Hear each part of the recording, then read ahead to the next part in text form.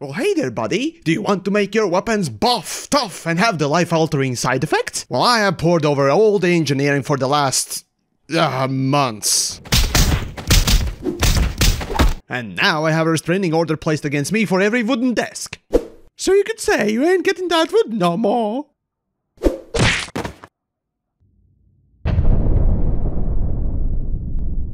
So, where was I? Uh, oh yes, there are some good, some bad, some useful, and some borderline pointless upgrades, or rather downgrades, that could be had, all by just grinding the game. Mind you, I plan on doing this for everything in engineering, so subscribe and hit the bell thingamajig for the upcoming parts in the series.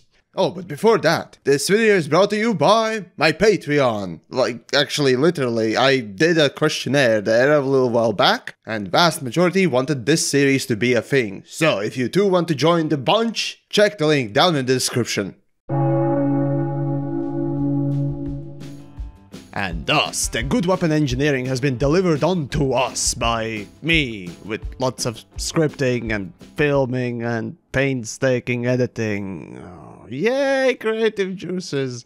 It's totally not semen, I swear! Now then, these upgrades and experimentals are basically go-to ones. Unless you find something that works more for your pathetic attempt at a meme build, or a niche obscure gameplay. But in general terms, and even some subdivided portions, the following will be the best. And as per usual, let's start with upgrades and then go into experimentals. Though the first one, of course, will be the more simpler case of, well, just it works, and that is efficient mod. This one takes a simple approach on weapon design, reduce the stats that negatively impact them, toss in a little bonus on damage and sacrifice... Uh, nothing. Yeah, that's right. Not a single downside makes this a straight up upgrade, and not a side grade for, well, any weapon that actually has this. Frankly, if I'm honest, I've always seen engineering as a way to side grade their weapons and tools where everything had some sort of a compensative downside, like with beautiful women, for example. The hotter they are, the crazier it is, due to complete lack of self-awareness and life experiences as an actual human being. But here the efficient upgrade is just engineer tweak and poke the weapon, and maybe whisper some sweet nothings before bedtime to eke out the maximum, like with PC overclocking. It's just tweaking your gear to the maximum, while normally the factory set stuff is just eh, good enough for the minimum achievable stuff. Still, this really feels OP.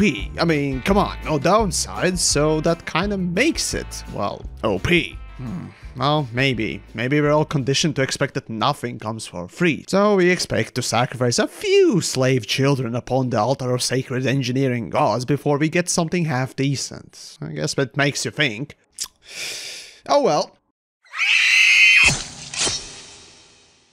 Next then is Overcharge. Now this upgrade sacrifices a few children, uh, I mean stats, and children for damage. A general net positive. This one in comparison to efficiency is quite dwarfed though in everything but the aforementioned space penis damage competition, yet frankly this is the one thing that everyone cares about the most, and so a solid choice for a lot of weapons, except for maybe burst lasers and plasmas. They may not be the best combos, but hey, if you got the energy to spare and the power distributor is not on a suicide watch list, well go for it. Oh, but speaking of the fun times with Razorblade, do you like Daka? Like, do you love Daka? Is the Daka da da da da da Daka Daka? The Daka Daka Daka, the fire rate upgrade Daka Daka Daka Daka Daka. I mean, the fire rate may seem like a good idea to increase on many weapons, which is frankly not a terrible idea. I'd caution against doing so in most cases. While compared with Overcharge, they basically achieve the same goal, increase the overall damage per second. Though, the thing that a lot of people forget is that the projectile weapons have ammo too, and with more fire rate, guess what's gonna happen to that ammo count? I mean, I built this thing so you can see how picking overcharged is a perhaps a better idea. But this is good too, it's just not quite as good. And so the last upgrade before experimental start flying like grannies rammed by a semi, the only proper choice for a frag cannon is the double shot. Really, what is there to be said? Increased clip size, added two-shot burst mode, and all that for the measly 10% range penalty? This is a motherfucking space shotgun, it needs no range! But seriously, this tremendously adds to the total damage you can do before the non-triggerable reload occurs. I mean, seriously, is it too much to ask for the future engineers to make a manual reload button? Ah, in any case. On to experimentals. Oversized. It's a little topping of damage, that's it. It's a good choice. And while its counterpart gives a little bit more fire rate as a bonus, this, just like Overcharge, just makes every shot better, not more of it. Thermal Conduit. Well, this is a definition of Bob, you have a problem, bruh. Where the more masochistically you flagellate yourself, the more you will finally destroy the target. Basically, the more heat you have, the more personal bacon you cook, the more damage you will output. Up to 50%, so at 150% heat, you will cook some tasty bacon at both ends, yours and your opponent's. Even some meme lords have gone on to call their anacondas microwaves, for obvious reasons. Phasing sequence. Basically, this is the one thing that stands against the shield tanking elites. This mod, while does penetrate the shields, does so in a fraction of the damage done. So while it's perfect against the clueless shield-only builds, will take notably more time to deal with a bit more smarter, more balanced build. Oh, and it only does hull damage, so all the shields are up, no module damage. Still, it's very good and penalty often is worth it, just to do that extra damage. Autoloader. Reload?